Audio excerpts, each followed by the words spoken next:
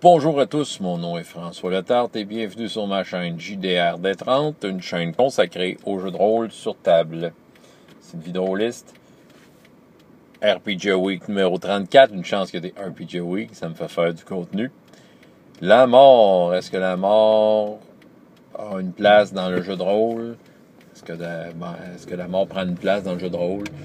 Ben, je pense que la plupart des jeux de rôle qu'on connaît, c'est des jeux de rôle dans lesquels les joueurs sont mis dans des situations dangereuses et périlleuses. C'est des aventuriers téméraires qui euh, sont contre des enjeux énormes, mais qu'en contrepartie, c'est ça, ils font face au danger et à la mort. Moi, je pense que si la mort est au menu, euh, faut, faut, faut pas la négliger. faut que le risque soit là faut qu'il y ait une épée de Damoclès au-dessus de la tête des joueurs.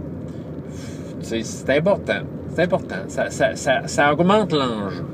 Puis, tu sais, moi, j'aime ça quand je fais une game. En tant que joueur ou maître de jeu, mais mettons quand je suis maître de jeu, quand je vois les joueurs suer à grosses gouttes parce que là, ils savent qu'ils sont à un poil de mourir, tu sais. Puis, s'ils arrivent à survivre toute la gang, là, ils sont comme Ah! Tu sais, ça, ça rend l'expérience bien plus mémorable. Tu as été mis en danger. Fait que, tu sais, c'est ça. Je ne pas pourquoi qu'on sauverait la vie des personnages. Il faut, faut, que la mort soit au rendez-vous. faut que la mort soit bien présentée mécaniquement dans le jeu. OK? C'est vrai qu'il y a des morts qui ont de l'air comme mineurs. Tu veux dire, euh, tu, meurs à la première partie, à la première bataille contre euh, les petits faibles euh, des ennemis. sais sais, si, si c'est une éventualité qui euh, tu veux pas rencontrer, arrange-toi avec ton système de jeu. sais, fasse en sorte que ça soit difficile pour des petits ennemis de te tuer au premier combat. Mais si ça te dérange pas trop, ben, comme l'appel de Cthulhu, un bon coup de poing sur la gueule, tu peux mourir. fait que. Fait que, c'est ça, c'est choisis bien le système de jeu si la mort te dérange à ce point-là. Mais tu sais, il faut considérer que si tu es des aventuriers qui partent à l'aventure, normalement, la mort est au menu. OK? Oui, il existe d'autres choses qu'on peut faire à la place de mourir. Il y a toutes sortes de trucs. T'es capturé, tu perds une main, tu sais. Bon, OK, il y a toutes sortes d'alternatives à la mort qui peuvent aussi amener l'histoire ailleurs. Tu sais, faire continuer les aventures de ton personnage vers une autre voie. Mais la mort, je pense que c'est quelque chose d'important. Puis, euh, je pense que c'est pour ça que quand on fait du jeu de rôle, puis que faut, je pense qu'il faut, vivre son personnage à fond, OK? Sans faire de niaiseries, sans jouer le niaiseux avec, tu sais, puis faire des trucs inutilement, euh, grotesquement euh, pas héroïques. On peut, comme, tu sais, y aller à fond, OK? On, peut, on peut y aller à fond pour faire des exploits héroïques puis tenter le coup, vivre à plein la vie de notre personnage. Parce que si jamais il y a à mourir, au moins on va être fier du personnage qu'on a eu, puis de ce qu'on a fait avec lui, ça fait des beaux souvenirs. Puis voilà. Ça vous dérange tant que ça, la mort, rendez hommage au personnage qui vient de mourir. Faites tout un hommage. On avait fait ça une fois, un, personnage, on jouait à Pathfinder qui était mort. Un personnage important. Puis c'est ça, puis on avait commencé la game suivante en, faisant comme genre euh, ses funérailles. On était dans un endroit sauvage, pas visité, on était juste nous autres les héros. c'est moi qui avais célébré une espèce de messe, j'avais fait un disco, tu sais. Puis euh, c'est ça. Puis euh, c'était drôle comme roleplay. Parce que j'avais fait un disco, moi j'étais comme le chevalier du groupe, tu sais. C'est moi qui avait les belles paroles. Hein. Puis c'est ça, puis il y avait une fille dans le groupe qui, elle, elle, elle, elle quand elle pleurait. tu l'entendais, c'est faire des pendant que je faisais mon discours. je me retenais pas rire. Mais c'est ça. C'était. C'est ça. on s'entend. Il faut que la mort en fasse partie. Il faut essayer de penser qu'on est invincible tout le temps. Là. Oui, il y a des jeux que tu es invincible, mais euh, moi, je suis pour avis que tu si tu es supposé être un aventurier avec des gros guns, c'est parce que quelqu'un d'autre avec un gros gun veut te tirer dessus à quelque part. Fait que, ça se peut que tu meurs. OK, on s'entend là-dessus? À part de ça, ben, tu sais, il existe des jeux où la mort n'est pas sur la scène nette. OK? Euh, je vais donner un exemple qui vient en tête. il y a un jeu de rôle, je me souviens plus du nom, mais c'est un jeu de rôle où tu formes un groupe heavy metal. Bon, théoriquement, c'est pas des aventuriers qui partent à l'aventure, c'est un band qui fait du heavy metal. Fait que c'est un autre genre d'aventure. L'enjeu est ailleurs. Ce que tu as à perdre est probablement ailleurs que la mort de ton personnage. À moins que, faudrait que je check dans le jeu, mais à moins que dans le jeu, tu peux avoir des affaires style tu tombes en bas du stage puis tu te casses la tête puis tu meurs ou tu fasses une overdose de drogue, tu sais, je sais pas, là, je le connais pas assez le jeu, je sais juste qu'il existe. Mais tu sais, c'est quand même drôle. Tu sais, y a, fait que, tu sais, il y a des jeux où c'est pas, c'est pas au rendez-vous la mort. Prendre un, autre exemple de jeu où la mort a plus ou moins sa place, c'est avec Hero Kids. OK? Oui, ce sont des aventuriers avec des épées qui vont se battre. Tu sais, si on se fie à la définition que j'ai donnée juste avant, ben, théoriquement, ouais, ils pourraient mourir. Mais tu sais, OK, moi, mon public cible, je pense que c'est le meilleur public cible pour Hero Kids, 5-8 ans. Là. Écoute, euh, les personnages dans Hero Kids ne meurent pas. Tu sais, j'y ai pensé, est-ce que j'ai fait mourir ou je pas? Tu sais, j'ai eu cette réflexion-là à un moment donné, mais justement, la mort, c'est quelque chose de tragique puis de gros, tu sais. Euh, c'est sûr qu'on peut amener ça de la façon enfant, tu ah, t'es mort, je sais pas, c'est dommage, mais non, non, non. Le, le jeu te, force à justement trouver des alternatives. Puis même que les méchants, quand t'es tu, en guillemets, ils sont pas morts, ils sont KO, ils vont fuir, ils, vont juste être hors combat à terre, puis dire pitié, pitié, on veut plus se battre, tu sais, puis, tu sais, on, ils amènent ça autrement. Est-ce qu'on s'entend-tu la mort, OK? Tu sais, Hero Kids, là, tes personnages, quand ils sont hors combat,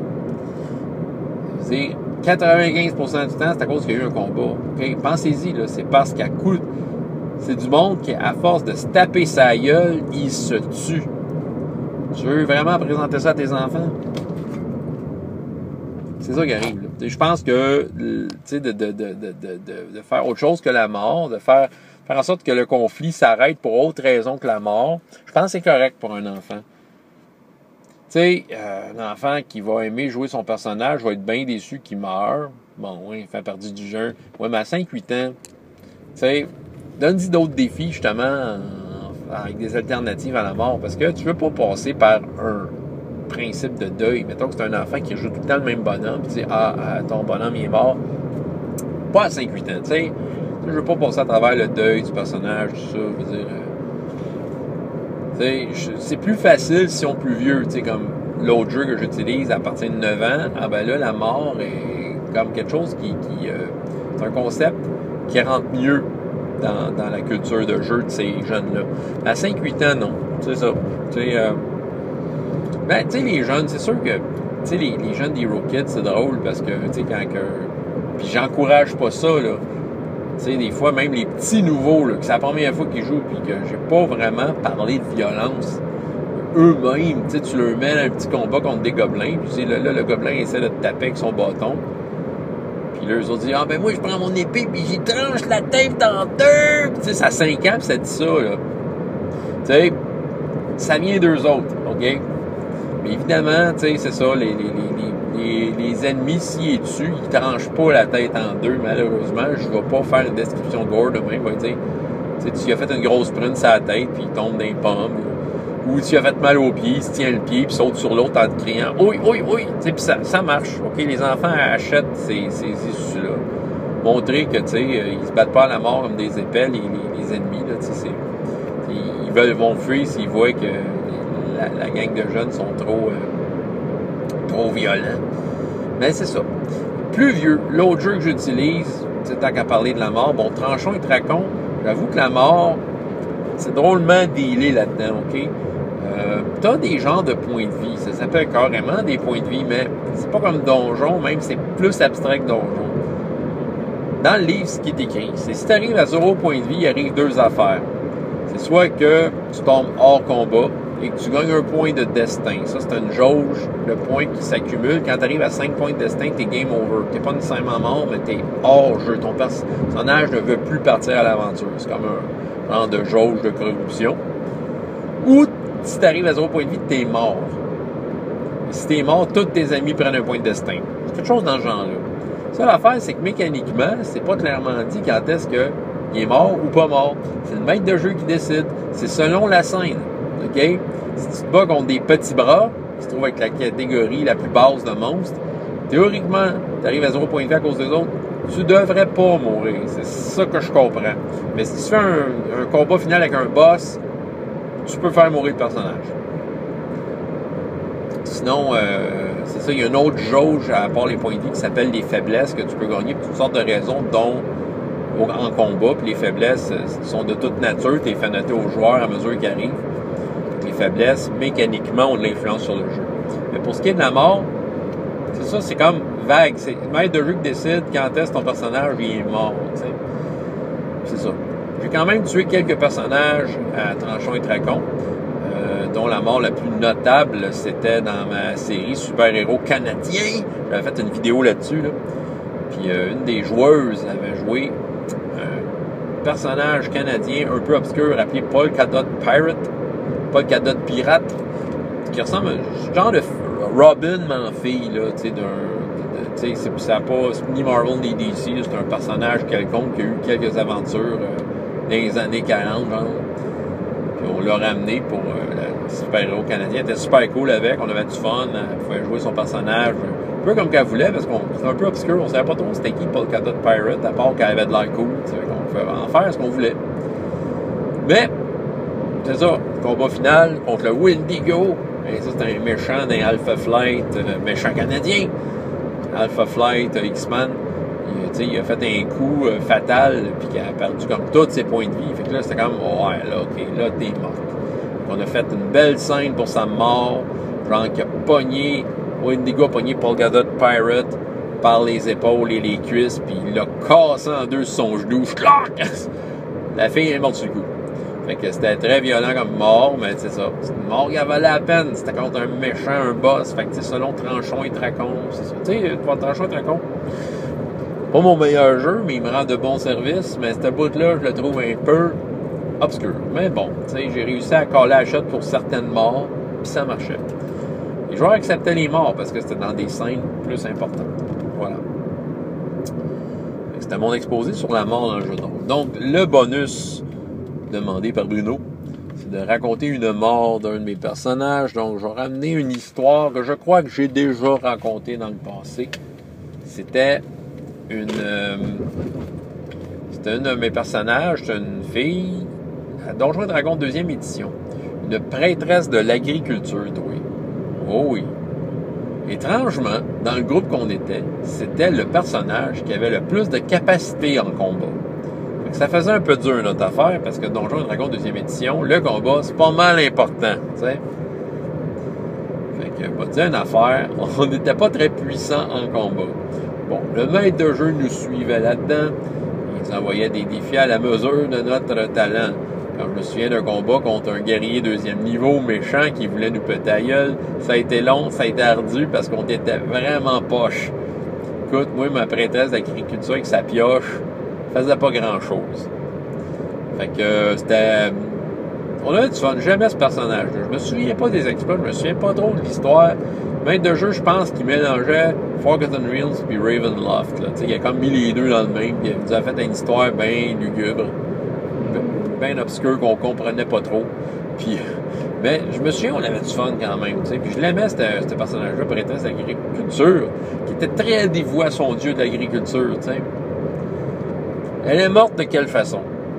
Une certaine scène, une, autre une joueuse qui avait autour de la table, qui jouait respectivement un rôle de fille, je crois que c'était une elfe magicienne ou une demi-elfe, s'était fait capturer par des ennemis, puis elle allait se sacrifier d'une façon assez occulte. Elle était attachée sur un, un hôtel, puis il y avait comme une, espèce d'entité noire euh, irréelle qui venait du, plafond pour aller la prendre, elle.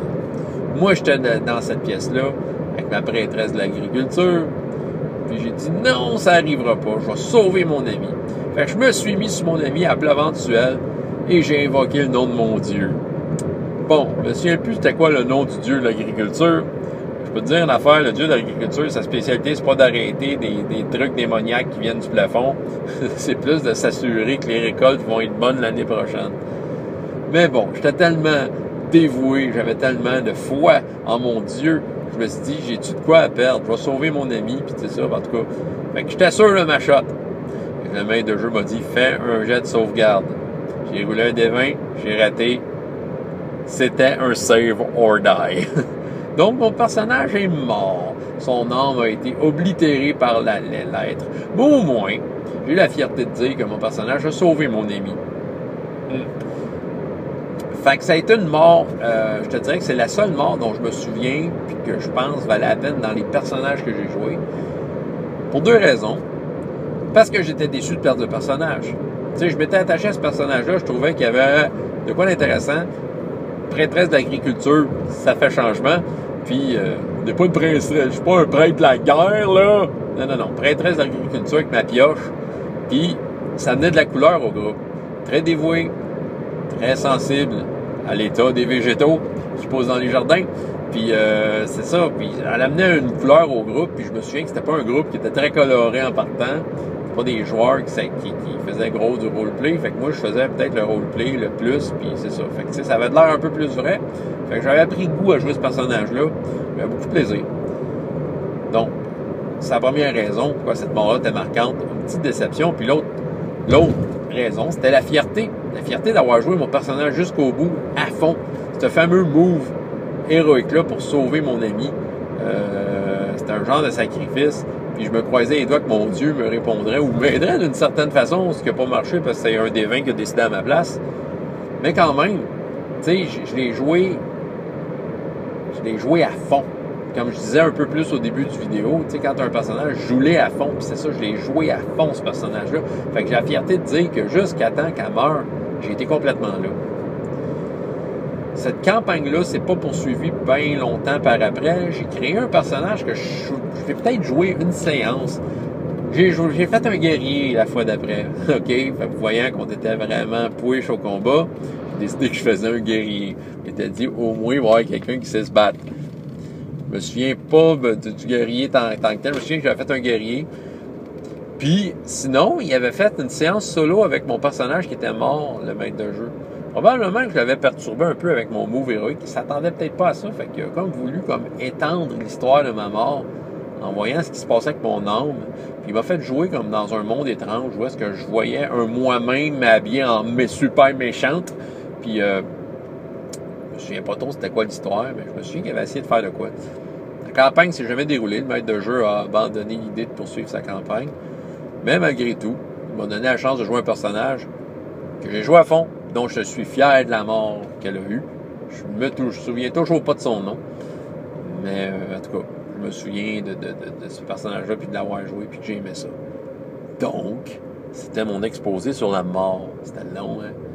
C'est ça que j'avais à dire aujourd'hui. C'était RPG Week numéro 34. François Letard, JDRD30, et jusqu'à la prochaine fois, ayez autant de plaisir dans la vie que dans les jeux. Au revoir.